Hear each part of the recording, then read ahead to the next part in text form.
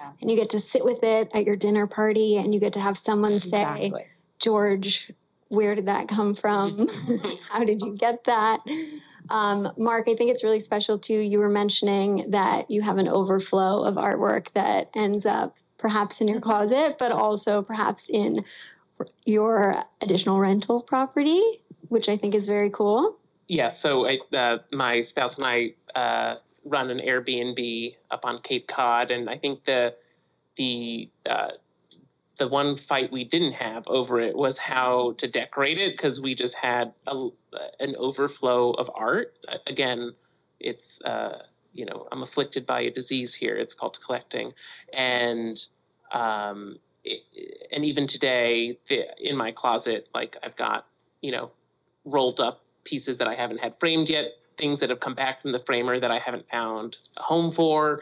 Um, so it, it's kind of just like this ongoing, like in and out process, like what's coming in, what's going out. Uh, yeah, it's quite interesting.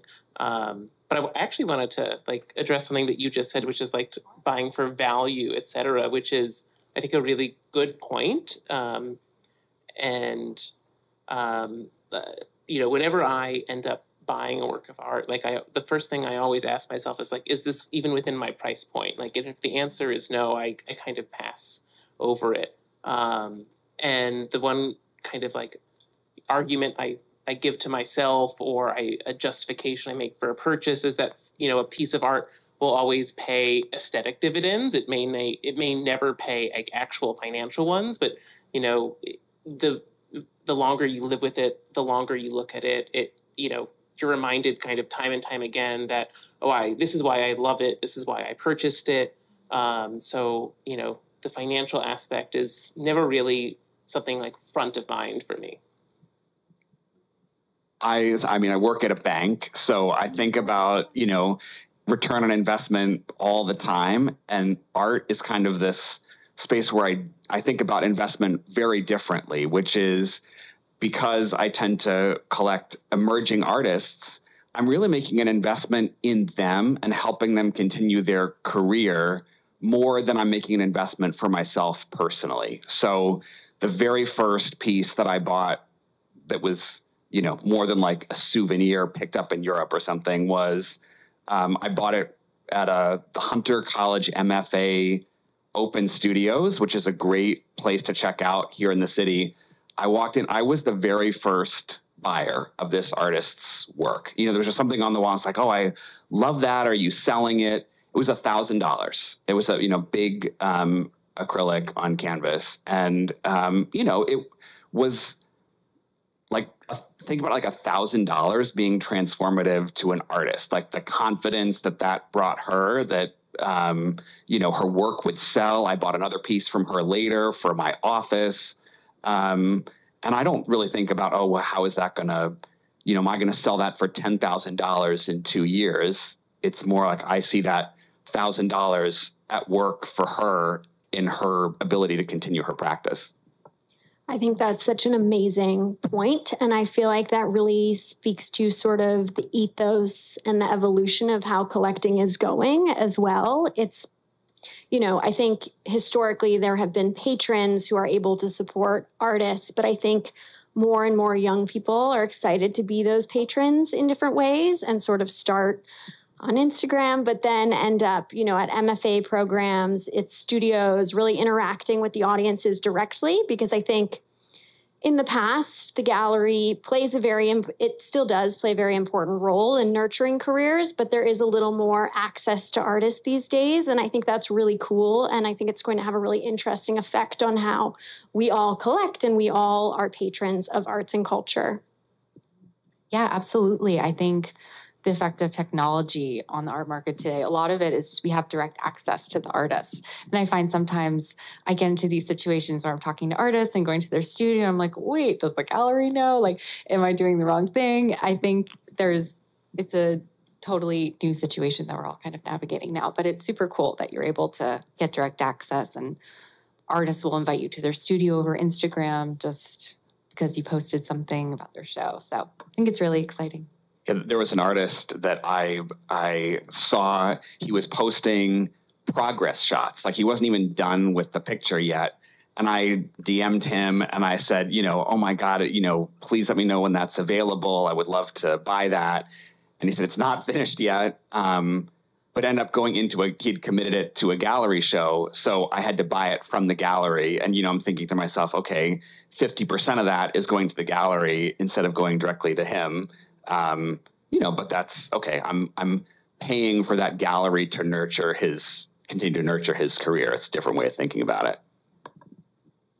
Yeah, I think it's going to be super interesting to see what this direct access to artists and creatives means for us and how it sort of evolves with technology because technology also makes a traditionally more opaque world a little more transparent as well. You can sort of see prices now if you'd like, you know, that wasn't necessarily a thing five years ago. Um, you can have those direct conversations, you can go to studio visits. I think it's a really cool way to connect, um, and I'm excited about it.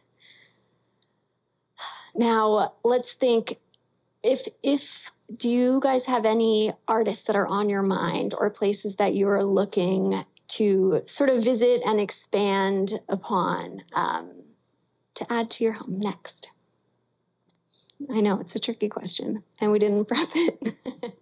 there are just so many artists on my radar right now. I don't want to like um, omit anybody. It is being recorded, so watch out. No. I know. I'm also afraid to like actually mention names. okay, experiences. Are you thinking you'll pop into a gallery for your next art experience? Are you hoping to hit up an MFA? Are you scouring at social media? I, will take this one. Uh, yeah, one. So like recently, this this actually has very little to do with like purchasing art directly from artists, but recently I've gotten very into uh, going to historic artists' homes and studios. Like that's been very interesting. So kind of like uh, taking like day trips to uh, like you know something like the Edward Hopper House and seeing uh, they have a really expansive collection of his childhood drawings, so things like that. But in terms of like contemporary art that I'm looking at, um, this one artist, I think you follow him, John Brooks. Um, I'm very like curious and intrigued by his work. Like he does a lot of, um, I guess you can call it like large scale, um, uh, let's say like colored pencil slash uh, uh, like Conte crayon drawings, very colorful, a lot of portraiture. Um, so I, I, also have been really appreciating in that vein the kind of this um, movement back towards uh, like figurative art and away from abstraction. Not that there's anything wrong with abstraction, but you know, it was it's quite it's been quite trendy for a while. So just being able to appreciate like uh, like craftsmanship and skill and, and draftsmanship even uh, is refreshing.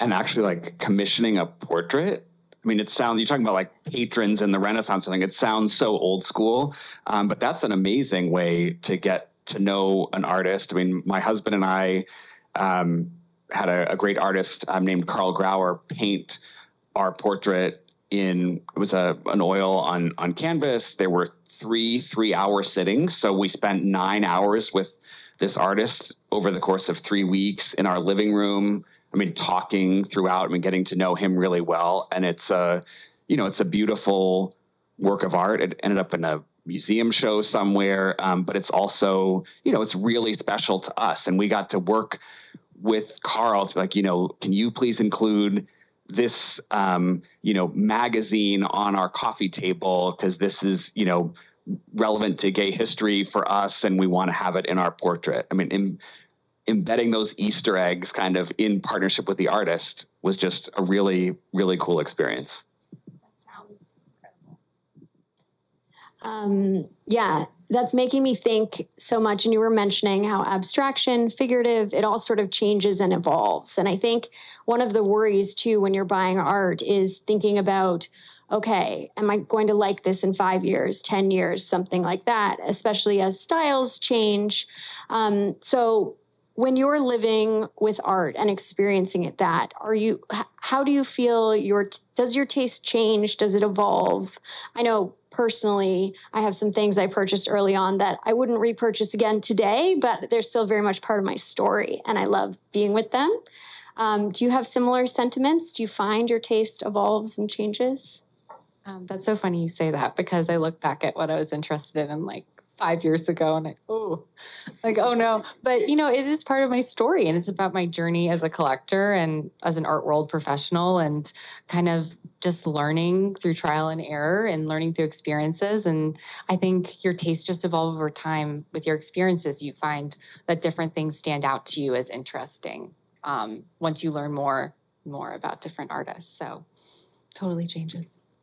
I think the best example I've got of kind of how at least my taste has changed is that um, maybe in like I, I, think this goes back to like 2012, 2013.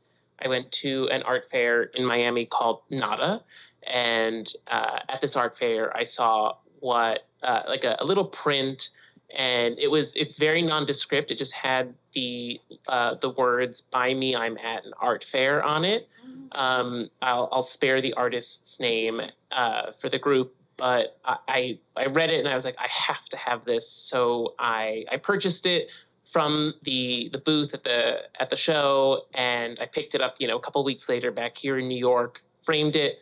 I hung it on my wall, and a couple years later, I was like, why the hell did I ever buy this? Like, this is so silly. Um, but now, instead of like, you know, retiring it to the closet.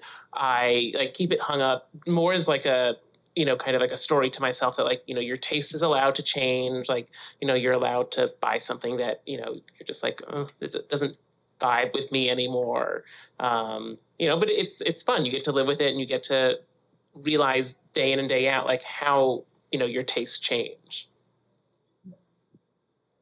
I don't know that my taste has changed as much as you know there's some artists that i have collected and their style their practice has changed. And because i feel very invested in them personally you know i feel like i'm growing and learning along with them. And i i'm hearing why they're changing their practice. And so it's it's almost like you know an extension of our friendship to have you know a piece um, from quote unquote later in their career